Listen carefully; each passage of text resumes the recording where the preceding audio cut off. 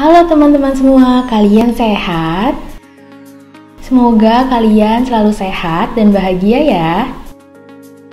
COVID masih ada nih. Ingat kalian tetap taat protokol kesehatan dengan ketat dan segera divaksin booster ya. Saya Yani dari Kami Bijak mau menyampaikan harapan SLB Cahaya Quran memberikan pendidikan yang layak bagi disabilitas.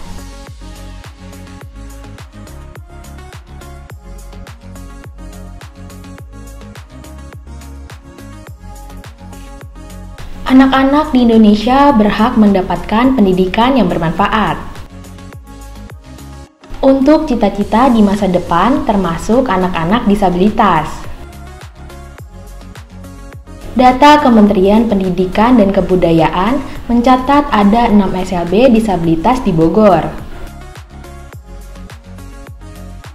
Tetapi hanya satu dari pemerintah dan yang lainnya swasta dengan biaya pendidikan yang tinggi.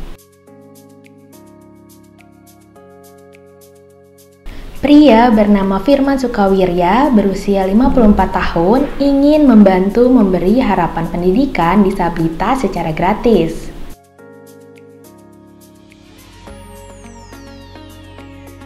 Karena kasihan terhadap orang tua yang tidak mampu untuk biaya sekolah. Firman bercerita bahwa dulu ia rela berhenti bekerja di dunia perhotelan yang sudah dilakukannya bertahun-tahun Pada 2002, dia fokus menjadi relawan kegiatan sosial. Firman bersama temannya mendirikan SLB Cahaya Quran yang terbuka untuk disabilitas netra,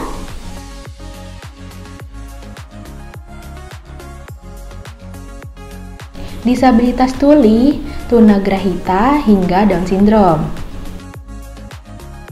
Firman ikhlas menggunakan dana pribadinya dan ditambah bantuan relawan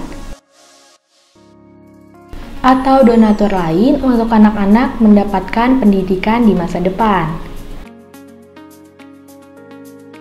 Sebenarnya Firman dan pengajar SLB Cahaya Quran berusaha tanpa lelah memberi motivasi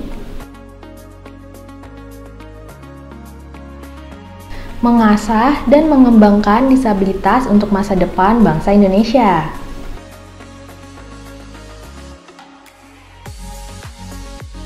Oke, sekian informasi hari ini. Semoga bermanfaat. Terima kasih sudah menonton. Tetap ikuti informasi kami bijak ya. Sampai ketemu lagi di kami bijak.